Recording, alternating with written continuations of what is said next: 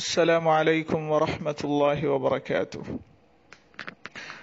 இஸ்லாத்தின் ஐம்பெரும் கடமைகளுள் நான்காம் இடத்தை ரமலான் மாத நோன்பு பெறுகிறது இஸ்லாம் ஐந்து தூண்களில் நிறுவப்பட்டுள்ளது என்றும் அத்தூண்களில் நோன்பும் ஒரு தூண் என்றும் நபி அவர்கள் குறிப்பிட்டார்கள் பருவ வயதை அடைந்த புத்தி சுவாதீனமுள்ள உடல் வலிமையுள்ள சொந்த ஊரில் வசிக்கின்ற ஒவ்வொரு முஸ்லிமும் நோன்பு நோட்பது கடமையாகும் ரமலான் மாதத்தின் ஆரம்பமானது வெற்றுக்கண்களால் அல்லது நவீன கருவிகளால் தலைப்பிறை பார்ப்பதன் மூலம் உறுதிப்படுத்தப்பட வேண்டும்.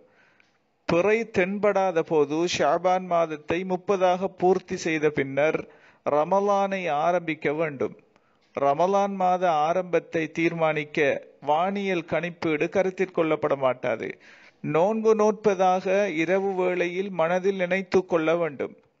ரமலான் மாத ஆரம்பத்தில் ஒரு தடவை நீயத்து வைத்து கொண்டால் மொத்த மாதத்திற்கும் அது போதுமானது.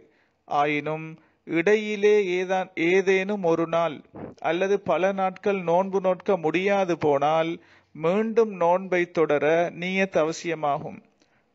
நோன்பு நோற்றவர் அதிகாலை தொடக்கம் சூரியன் மறையும் வரை நோன்பை முறிக்கும் காரியங்களில் ஈடுபட்டுவிடக் கூடாது.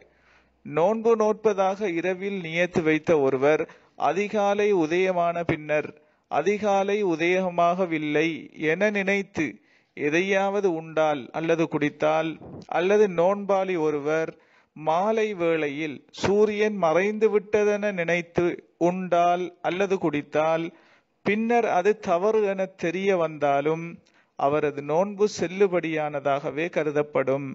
ஏனெனில் நபிகளார் கூறினார்கள் எனது சமூகத்தவர் தவறுதலாக அல்லது மறதியாக அல்லது நிர்பந்த நிலையில் செய்யும் காரியங்களை அல்லாஹ் மன்னித்து விடுவான்.